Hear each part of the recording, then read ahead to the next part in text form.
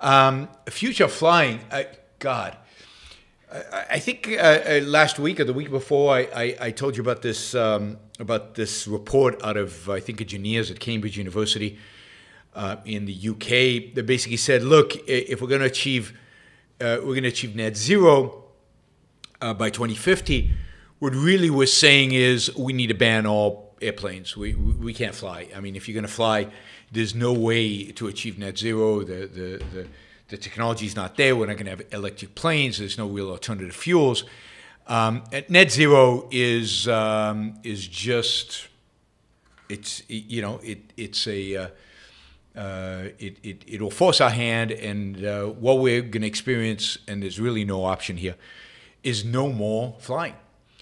Uh, and um, you know that that that sounds right to me. If if they're serious about the goal, then that's what it's probably going to require. Now, but it's hard to sell that. It's really hard to sell that to people that you can just ban flying. We're just going to ground all the airplanes, uh, and and uh, no more no more flying between countries, between uh, cities. Uh, take take the train, right? Take the train. Uh, and uh, that that is hard a hard sell. But there is an alternative that can achieve a very similar goal, and that's what's really uh, happening. What is happening is that the that the right now uh, airlines have to offset uh, something like half of the carbon they pollute by buying carbon offsets, right?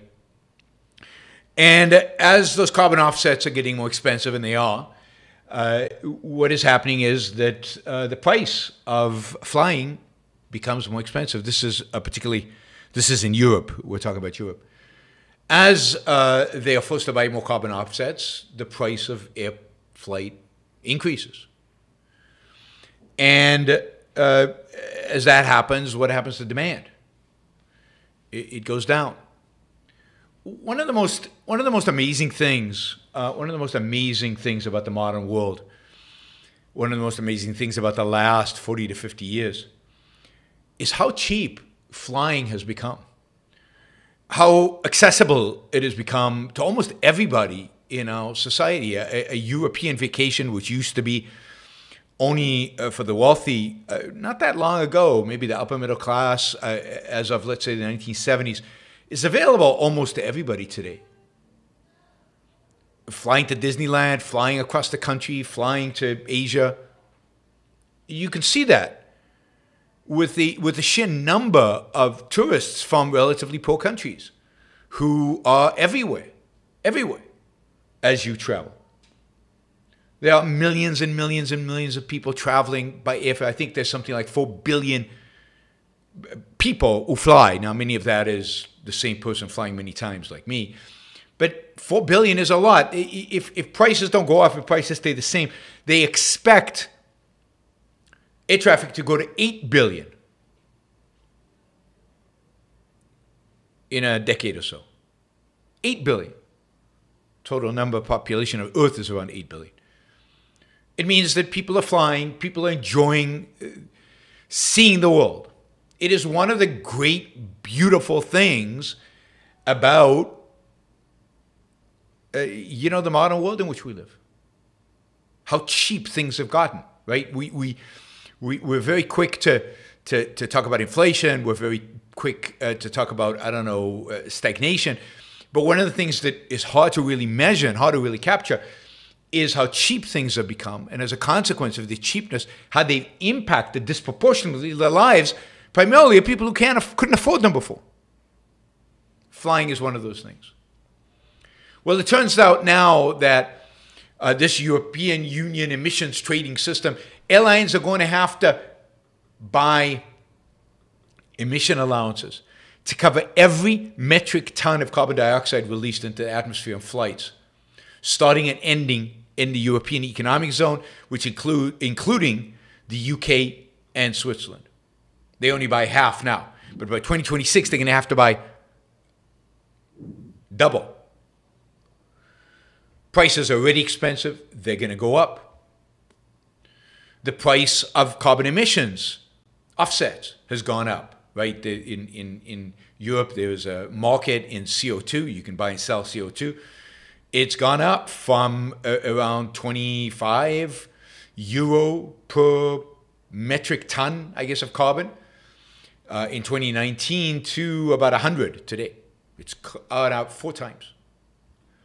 So when you pay, pay those really, really high airfares, realize that a big chunk of that is going to carbon offsets. A big chunk of that is a consequence over the hysteria around climate change and the coercive government policies to reduce that uh, that um, uh, you know the carbon uh, carbon footprint.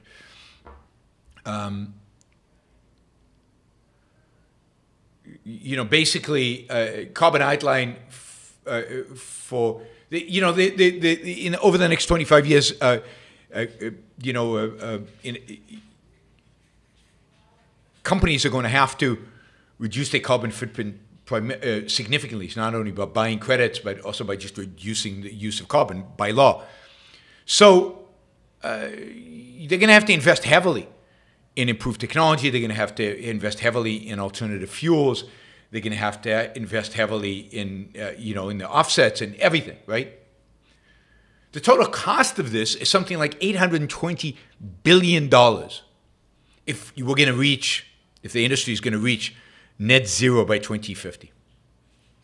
Now, there is no $820 billion to do this. That money is, doesn't exist.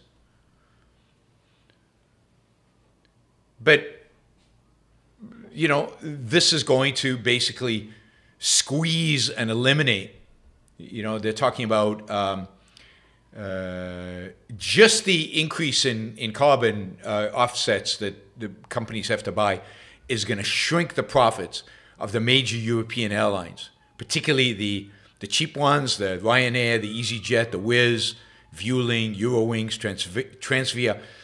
These are the real cheap airlines that make it possible for everybody to travel all over Europe at really, really amazingly low prices. Going to decrease their profits by 77%.